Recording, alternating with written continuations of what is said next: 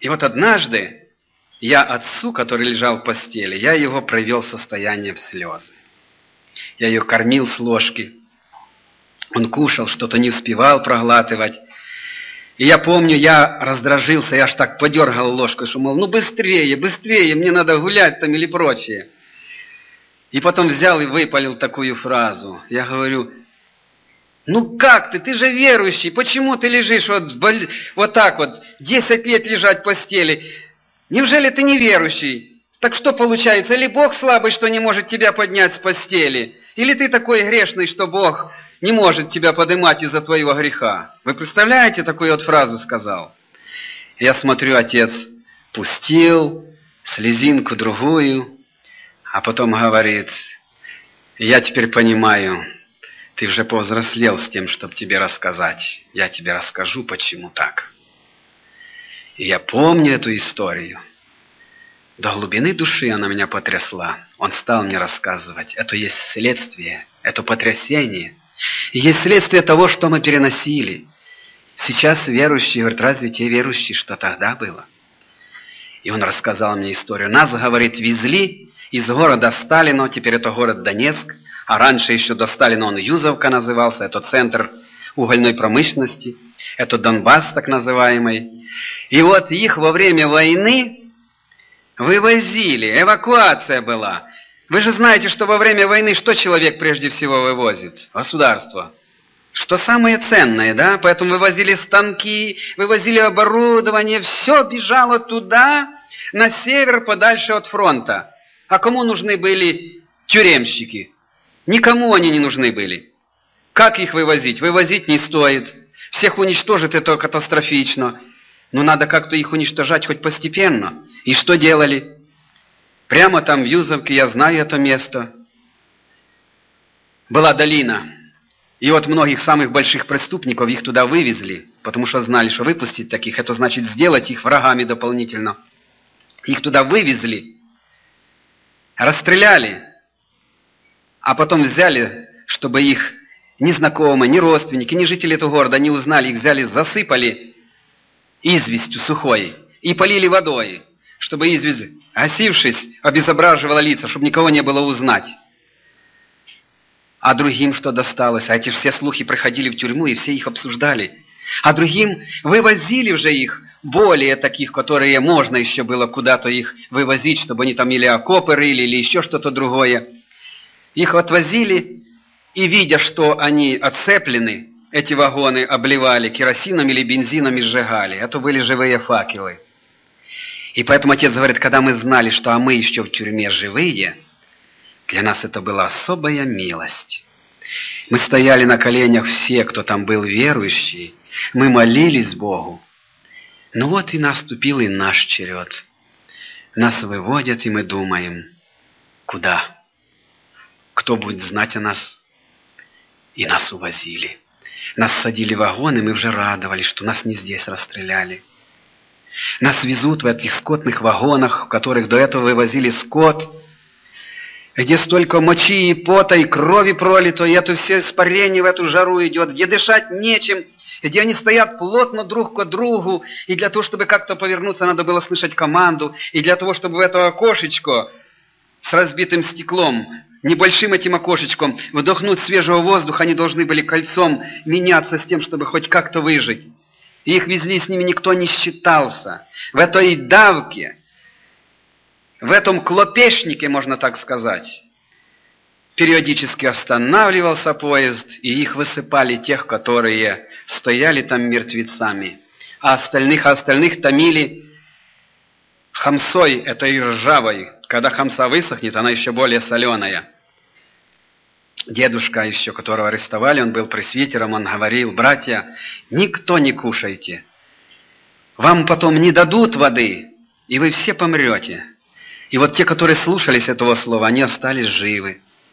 И я эту историю узнал от одного человека, который выжил, и который сказал, я уверовал через дедушку. Он узнал меня, мне такая радость была, что он мог рассказать, как он умер потом. А в этот момент – когда этот, рассказавший мне, спасся, он спасся потому, что во время бомбежки Вагон был опрокинут, другие вагоны, какие-то целые были. И вот они стали все разбегаться. И даже верующие побежали, говорят, Андрей Ермолаевич, бежим. Он говорит, ну как я могу бежать, здесь раненые братья мои. Он остался, их оцепивший конвой, заново вез в тюрьму, где потом они были расстреляны. А отец, а отец говорит, а нас привезли на одну станцию, нас вывели, человек пятнадцать. Комиссар подошел к вагону, открыл дверь, и вместо того, чтобы дать нам, как иногда давали нам воды или чего-то другого, или снова этой хамсы или селедки, послышался зов «Штунда, выходи!» А Штунда это были баптисты. Это их имя данное от тех немецких колонистов, которые среди православия несли чистое учение. Вышло нас 15 человек, как не выходить? Все равно сделают перекличку, все равно вызовут, будет еще хуже. Выходим мы. На станции маленький парк. Нас построили.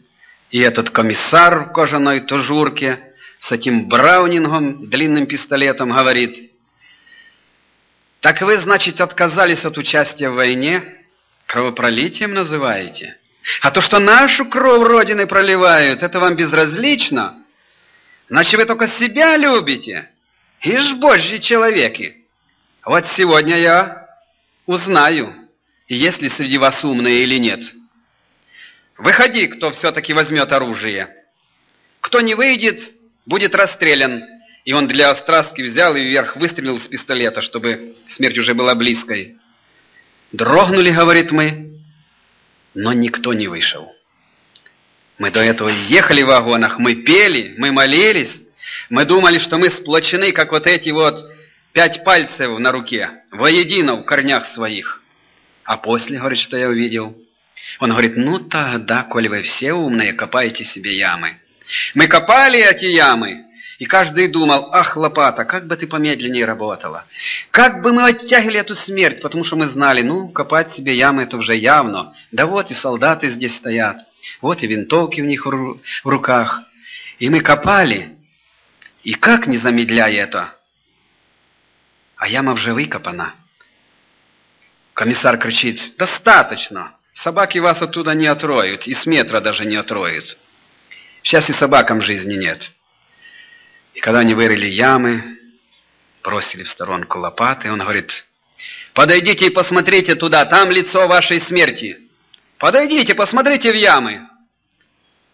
И мы смотрели, думали, кто узнает? Он говорит, я думал, дети мои, да они мне как глаза мои, как они узнают? Где я был? Что со мною? А может быть, стоит? Может быть, стоит взять оружие? Я же могу и не воевать. Я буду сбегать с этим ружьем, но буду стрелять куда-то там выше человеку. Я никого не застрелю. Разве я обижу этим Бога? Я же кровь не пролью. Каждый о чем-то думал таком. И вот когда уже ямы вырыты, он снова теперь спрашивает, «Ну вы поняли, что я не шучу? Кто из вас умнее, выходи». «Нет, через две минуты ровно вы будете там лежать засыпанными».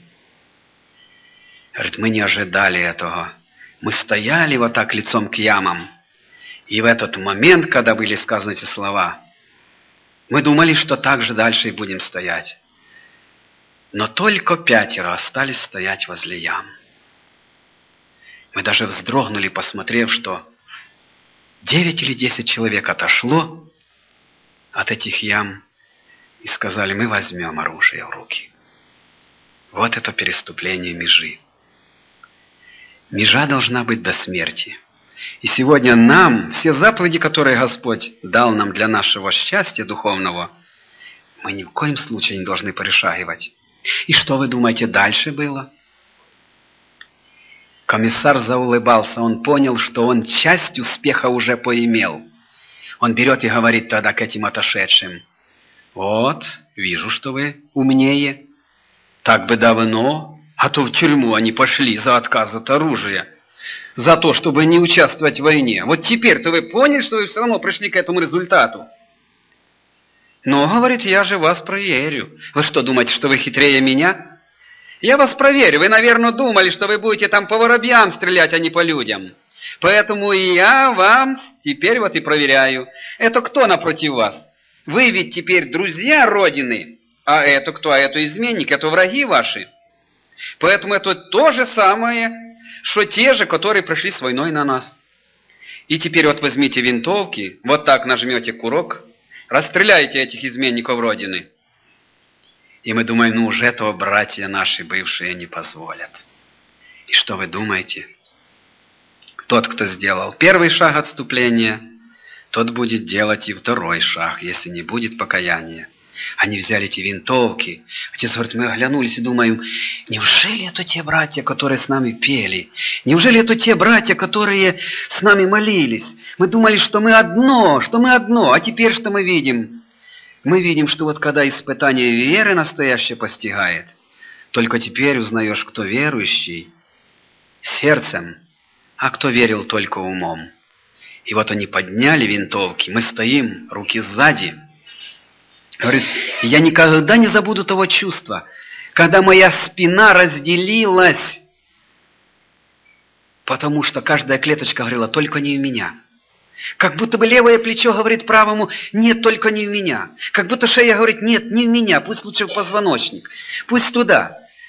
Когда каждая клеточка ощущает, где же сейчас войдет эта пуля. Стою и думаю, а может я ошибаюсь, может вот так отойти, как другие. С другой стороны, Господи, дай устоять. Пусть никто не будет знать, пусть и дети даже не будут знать, что устоял, но пусть ты будешь знать, что устоял. Нужно было, говорит, до боли сжимать свои губы, чтобы не стонать, не плакать, не дрогнуть, не упасть на колени, показывать эту верность. И когда, говорит, мы услышали команду «Пли!», я, говорит, чуть ли не на цыпочки стал, думаю, куда? Оп, Звучание курков послышалось, а выстрела нет.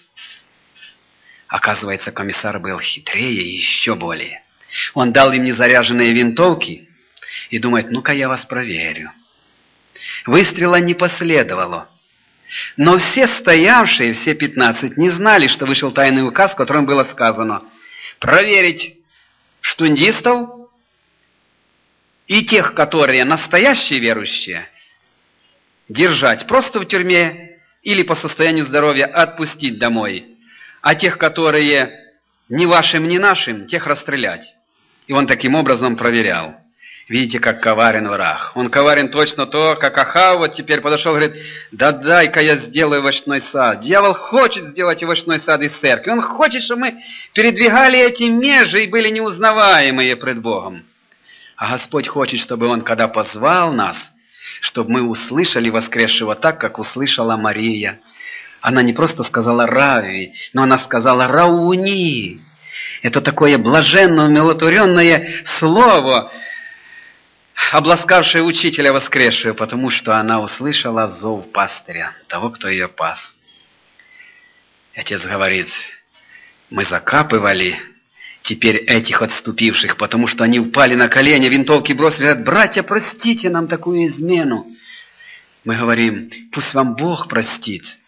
Мы вам прощаем, только бы Бог вам простил. Они знали, что, конечно, теперь они помилованы не будут, потому что комиссар все стоял и смеялся и говорил, «Ха-ха, вы теперь никому не нужны, ни Богу, ни дьяволу, ни вашей церкви, ни стране. Вы самые низкие люди, расстрелять их». И подошедшие солдаты зарядив патроны, расстреляли. Отец и еще четверо закапывали их. И вот он говорит, теперь понял ты, почему я лежу? Страдать можно не только за грехи. Страдать можно и нося раны Христовые. Страдать можно и тогда, когда ты отстаиваешь истину до смерти. Отстаиваем ли мы истину до смерти, друзья? Или смотрим на кого-то другого и думаем, он так делает, Ладно, и мне, значит, можно. Да тот погибает, и ты хочешь погибели. Нет, иди вперед, только взирай на Господа, только так.